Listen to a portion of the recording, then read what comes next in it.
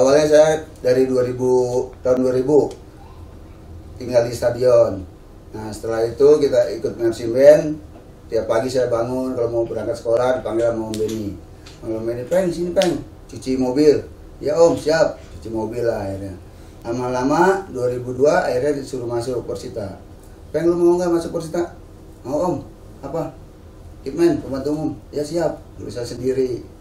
Ya udah ya udah sampai sekarang sampai 2008 udah salah.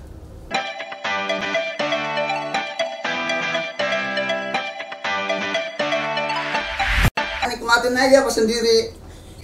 Nikmatin aja gitu. Emang ya repot merepot ya dulu kan nggak seberat ini dulu mah. Nggak ada yang nitip sepatu nggak ada apa gitu lah. Hanya kostum aja dulu mah.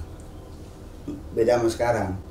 Kalau sekarang kan pemain banyak nitip sepatu apa gitu. kita serahin ke sus sekarang mah. Dan lah buat tambah-tambahan dia gitu.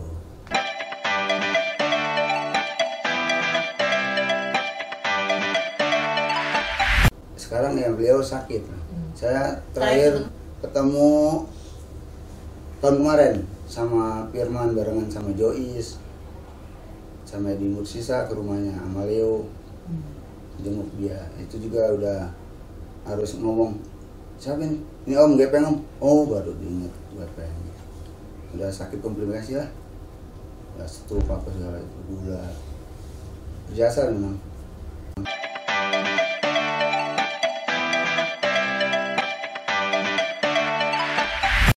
Ceritanya PNS mah ya memang berkat dari SBY lah. Yang enggak ini. Dari SBY ada tanpa tes otomatis saya kerja honor 2 10 tahun. Honor 10 tahun setelah itu ada pengangkatan otomatis database saya masuk ya akhirnya alhamdulillah masuk PNS itu juga mendadak. Saya nggak tahu tahu-tahu ada nama. Pen nama lu ada? Yang benar? Iya setelah besoknya mau penutupan PNS ya udah harian aja udah. 2007 ya 97 benar. Karena ada dispensasi? Dispensasi kita disetujuin ya sekarang alhamdulillah memang di Spora memang tugas pak nih saya jadi masih membela negara lah gitu kabupaten. Jadi mereka atasan saya ya oke okay lah. Kecuali udah keluar daerah baru nggak boleh. Misalnya keluar dari Persita boleh nggak boleh izin. Kalau masih di lingkup kabupaten Persita boleh. Spora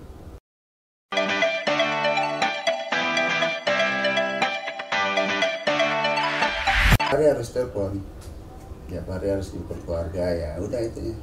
Kuncinya itu aja. Terus kalau hari, libur aja kalau misalnya Sabtu libur minggunya libur kita balik ke rumah. Setelah latihan kita balik besoknya kita datang lagi.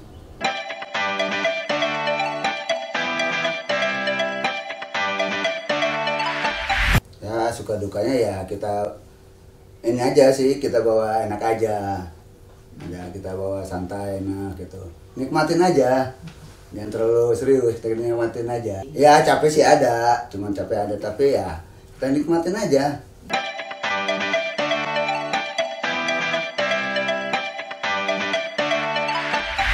Momennya ya apa ya kayak kita agak gabung sama anak-anak kita bercanda apa gitu lalu setelah kita sedih kadang kalau udah selesai kompetisi kita sedih. Itu aja. Kalah apalagi kalah sedih udah udah. Aduh udah. Sedih.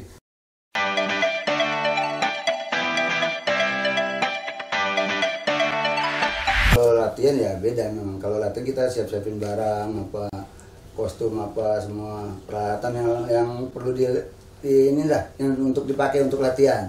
Kalau untuk hari-hari ya kita ngelayanin anak-anak aja untuk disuruh-suruh apa ya kita terus aja ikut aja ya semacam kostum sepatu terus peralatan tombak apa bola kita siapin aqua itu aja.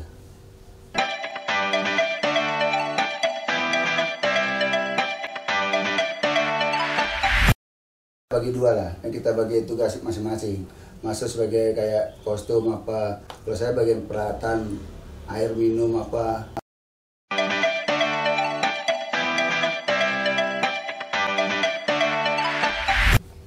itu pas mau latihan. Eh, ada kaos juga yang tinggalan akhirnya diambil sama Masus ya itu aja. Alam pahitnya itu aja kalau saya nggak ada. Sempurna.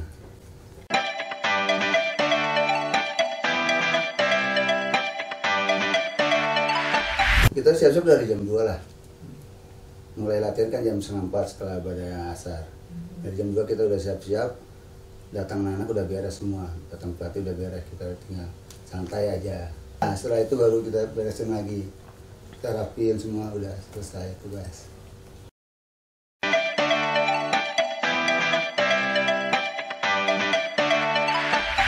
kalau masalah jenuh ya enggak lah.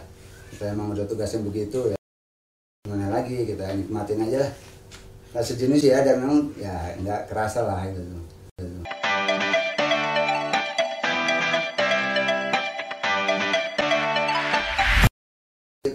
biasa aja kayak teman biasa kita sapa apa gimana.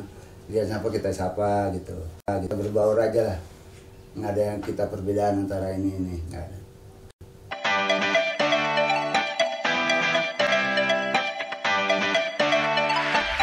Persita harus masuk Liga 1 harga mati itu udah.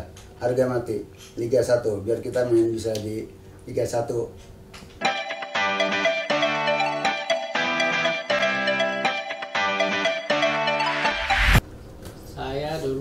ceritanya pertama dagang di Stadion Benteng tahun tahun 2001.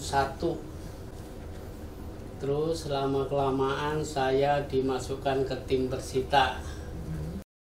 Sama- Waktu itu sama pelatih Agus Parman. Waktu itu 2001 sampai 2006 itu saya di Liga Remaja, Liga Suratin namanya.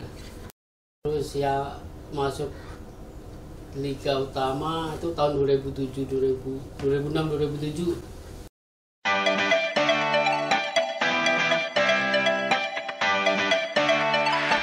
Ya, saya tiap hari pertama beresin kostum, ngasih kostum, beresin kostum, beresin bola, beresin kun apa dan sebagainya tiap hari. Saya udah setengah tiga itu udah mulai siap-siap, ya kostum dan sebagainya. Tiap hari.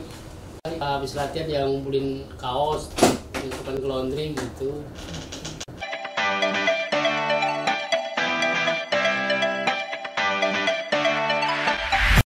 Senang itu senang gitu, dapat bonus senang, nggak bisa dilupain itu. Nah itu gak dapat apa-apa gitu.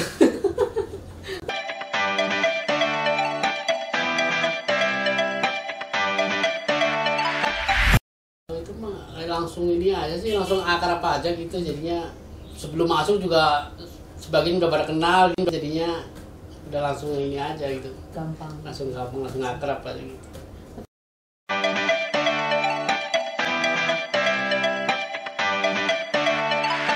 Mudah-mudahan jangan bosen gitu. Tantangan nggak ada. Jadi udah kerja udah biasa udah ini udah ngerti semua jadinya nggak ada tantangan udah udah udah, paham. udah paham semua. Keluarga juga udah tahu kalau saya ini bapaknya kerja di bola jadinya ya tahu itu udah, udah biasa gitu ditinggal-tinggal. Ini udah biasa itu.